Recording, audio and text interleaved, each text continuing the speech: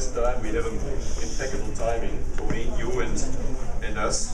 Photographers down, Um, please. I was a little bit uh, concerned last night when I still heard that, that Kiran was busily negotiating with you, but uh, that's part of the excitement of these shows. So we're very pleased uh, to be here today with our friends from AirAsia. Ladies and gentlemen, for what uh, really is an historic announcement, the largest ever order for our A320 family.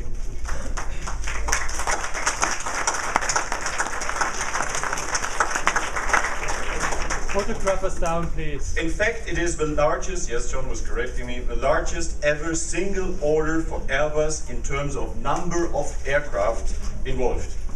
And the third largest in terms of value. So that really should have attracted the applause, but you applauded already before.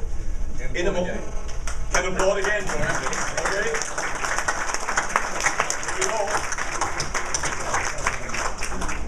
okay? You Tony, in a, in a moment,